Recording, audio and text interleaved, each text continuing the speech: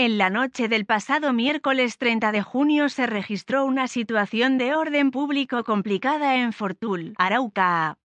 Delincuentes de acuerdo con información preliminar, delincuentes usaron granadas de fragmentación y diferentes armas para perpetrar el ataque contra la fuerza pública de Fortul. El armamento identificado se habría usado en el hostigamiento a la Policía Nacional, mientras que en el ataque contra el ejército se usaron explosivos no identificados.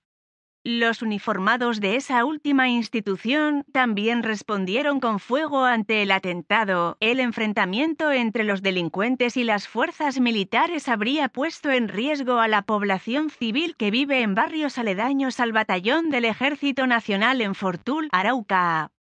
Sin embargo, por otra parte, el ataque a la policía también pudo poner en riesgo a la ciudadanía, pues el cuartel de la autoridad en ese territorio está ubicado en pleno centro del casco urbano. Aunque las autoridades no le han atribuido estos ataques a nadie, se presume que los responsables cabe recordar que hacia las 6 y 30 de la mañana de la mañana de ese 17 de junio, delincuentes detonaron un explosivo en la salida de Saravena, exactamente en el barrio Villa Fani, sobre la vía que conduce al municipio Arauquita. Más adelante, de acuerdo con la Policía Nacional, la misma patrulla fue hostigada con ráfagas de fusil por parte de delincuentes no identificados hasta el momento. En el hecho,